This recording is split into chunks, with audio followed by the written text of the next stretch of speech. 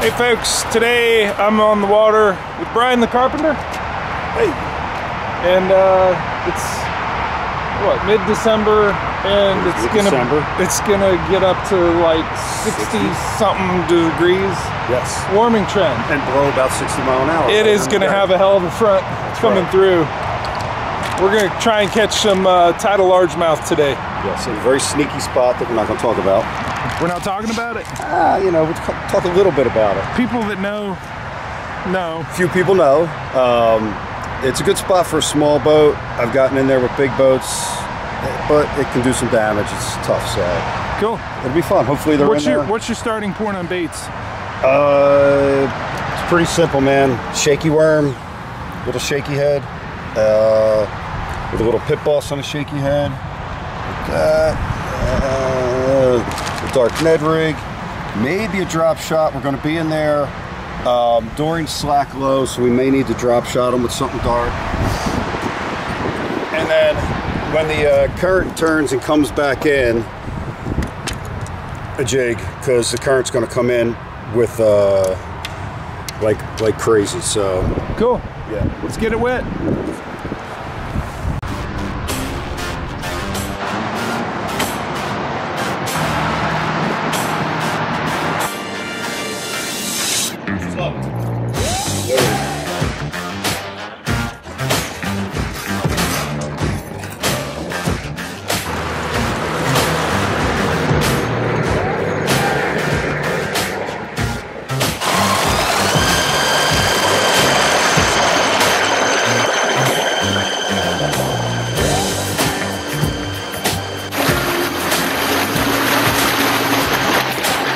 We're on a, uh, a tributary to the Delaware River, uh, down south here on the Delaware. Uh, it's a creek that has a lot of current, and uh, again, we're here in December. The uh, the fish got to get out of the current, so it's my favorite time to fish it because it's it bunches them up. Um, puts all the fish in the river in a handful of spots because you know to get out of current. Again, this this one this one pulls hard. When we get to the spot we got to run through, you guys can hear the highway. We're gonna go. We're gonna be running underneath of about six lanes of highway, 100 yards or so, um, against the current. Current coming in our faces. We're pushing through it. And we got cool. the power to do it We got the power to do it. with electric, with the Torqeedo. Yes, indeed. You've done it with this rig? I have. Yeah. Okay. I've done it with my bass boat, and just to give you guys an idea, when that current's coming, I'm throttle down on the bass boat to push under, like giving it.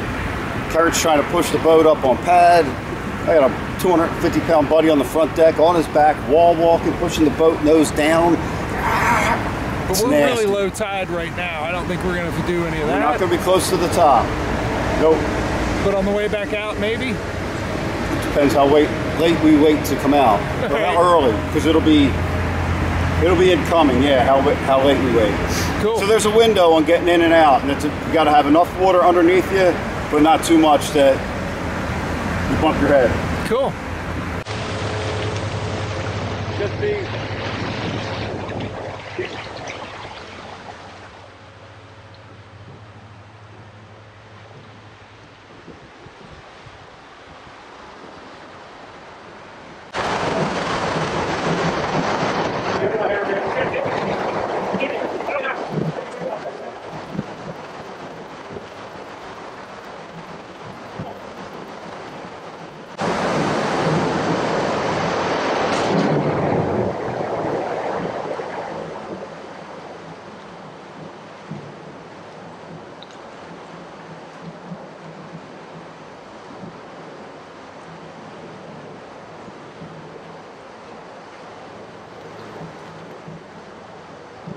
Let's go!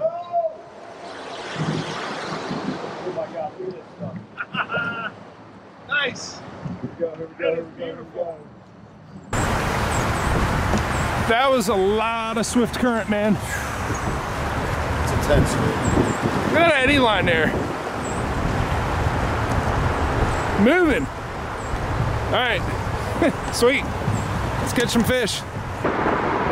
44, 44.3 right now. It's pretty cold. Um, they should still bite. Uh, you know, I know Jeff. We had talked about before. Like more important than temperature is trend, right? And um, today's we got this warm day. Maybe tomorrow will be a little bit better because today's 60s. And that's the hot day, but they still bite at the 44 and, and can be really active. Again, depending on the trend.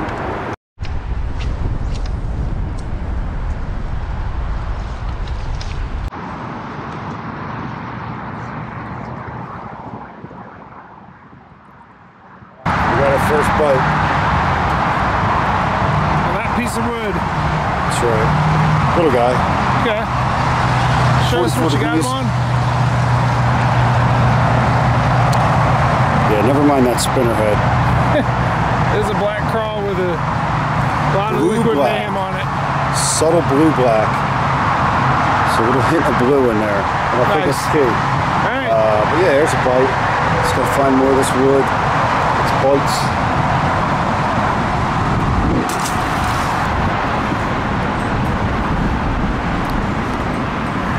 That's a good one, bud.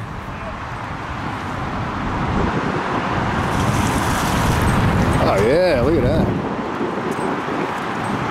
Alright, this is the same jig I've been fishing the last two days on the Susquehanna River for smallmouth. You know, catching a largie there. Look at his scars. Oh, Look how he's been chewed on. See that? Yeah, we got that one crossing that uh, highway over there. Yeah, he got ran over by a Ford. Chunky fat fish. Yeah, Alright, let's get him back in. Delaware River, largemouth bass.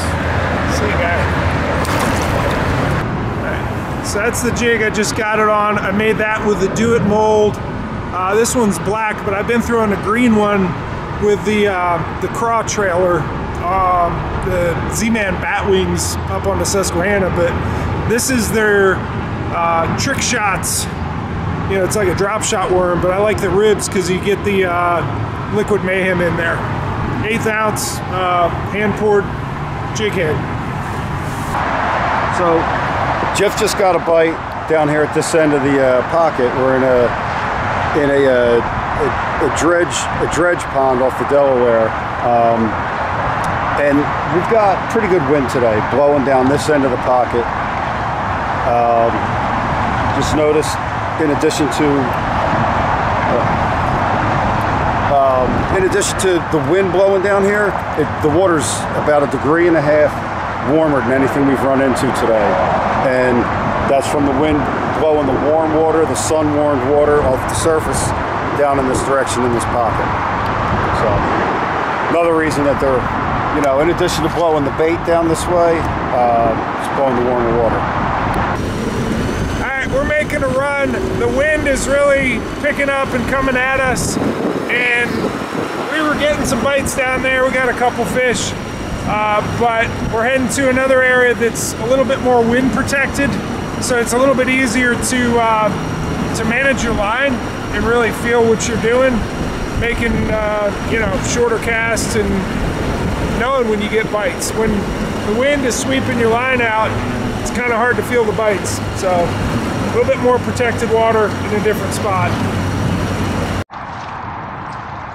So time to give the blade bait a shot. We're seeing them on the depth finder. What's the depth you think you're seeing them in? 10 to, like 12 to 15, 18. 12 to 18 feet. Big schools of bait fish and some other bigger fish mixed in. There it is.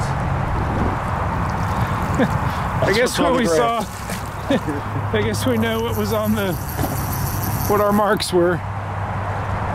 Folks, literally the first cast I've made with the Jeff Little's own blade baits. Tell you something, It's it's the carp specialist apparently.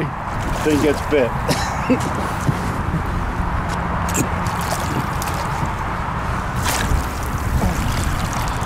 Yay! There's your goldfish. There it is. Sorry, Carpy.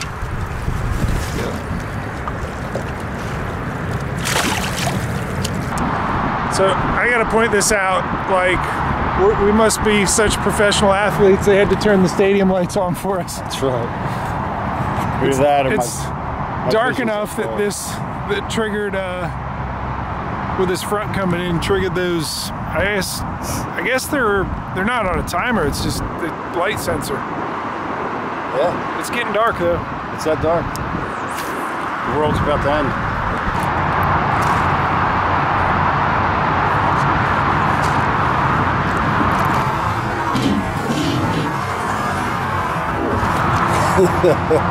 Coming aboard.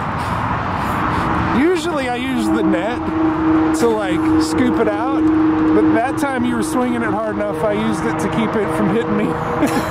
like it was it was a defensive maneuver. Come off of that. Come off of that log. And uh, same as before, that fish was up. Huh. So I pulled the bait up over it and uh, and hit it on the on the fall. Nice. Like I said, this is this is a crawl, but it's a lot more like a Ned rig. Yeah. You know, it's super lightweight and it's all about the fall, not the bottom content. Nice. You know, that, that, that gliding fall. So Slow rate of fall. All right. there it is. 44, 45 degrees.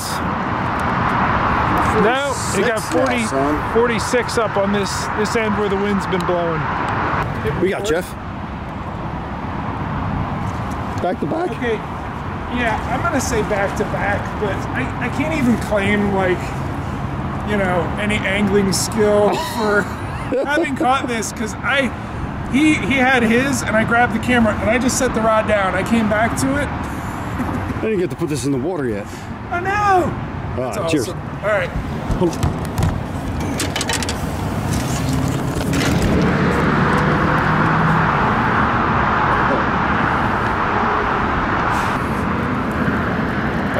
let's let them go.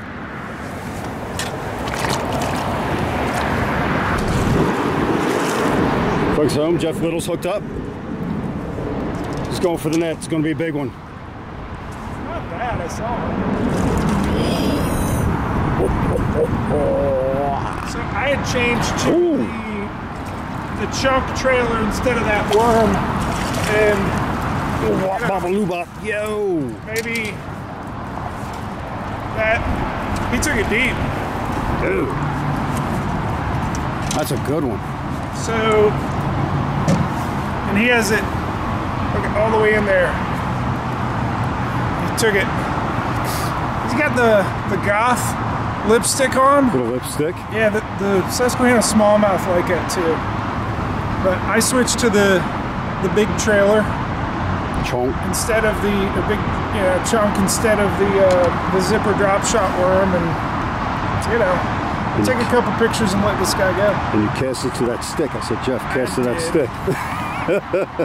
I couldn't see it, and you're like, it's right there. I'm like, I don't see it, but whatever. Yay! Good stuff. It's cold. Yep. All right. So in water this this cold, the area that they're going to move to to get after a bait isn't very big, and everything has been about wood. And when you're able to visually see, hey, there's a little stick. That's how we've been catching them. But sometimes you don't see anything, and you know I'm going to keep moving the bait with the rod tip and and reeling it in until I can feel the rod tip really you know, say, oh, there's a stick. And that's when I stop moving. That's when I do the let it sit thing. But you gotta, you gotta basically rake the bottom and, until you feel it. And then once you feel it, stop. Let it linger right there next to it. You know, just because you don't see it doesn't mean that, you know, you're not gonna find it. You gotta find it tactily instead of visually.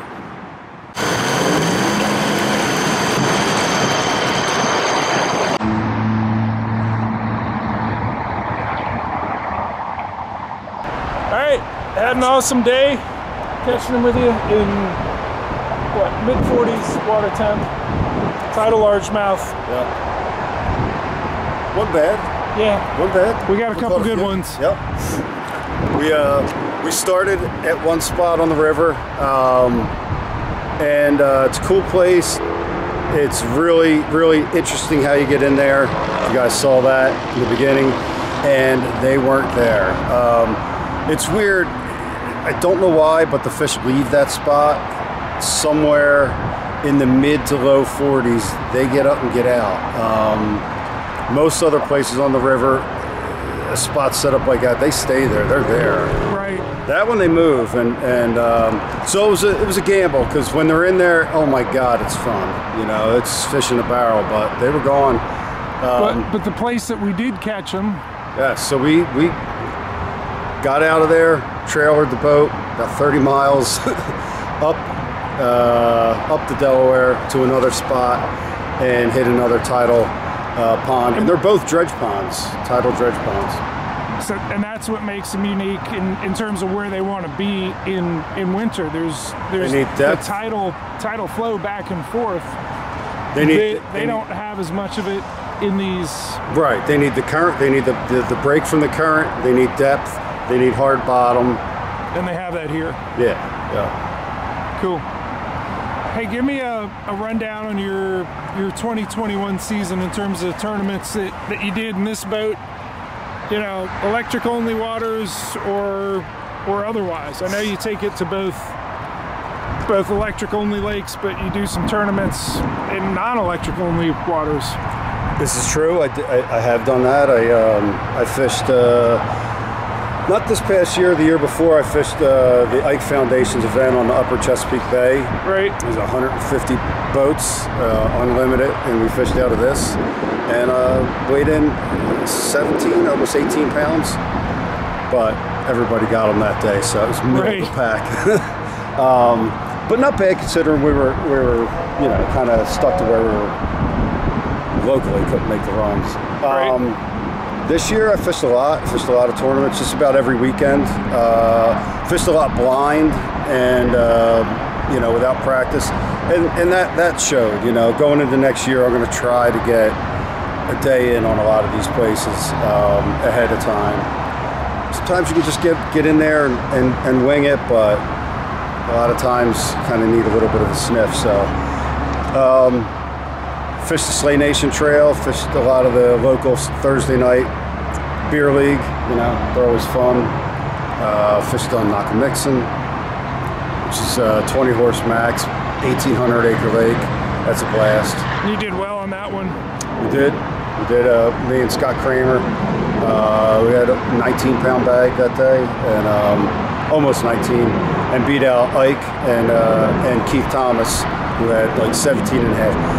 And they were the only two uh, limits that day. It was a tough day, but Right. each of us found our own deal, and, and they were completely different bites. Those guys threw glide baits in grass, the last good remaining grass that was on the lake, and we were pitching a jig on a channel channel swing banks, deep bluff wood banks with the channel come close, and um, heck of a day.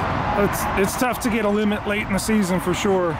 Can be. And um, We had one today. yeah, we did. Yeah. I appreciate you taking me, bud. Same here, buddy. All right. See ya.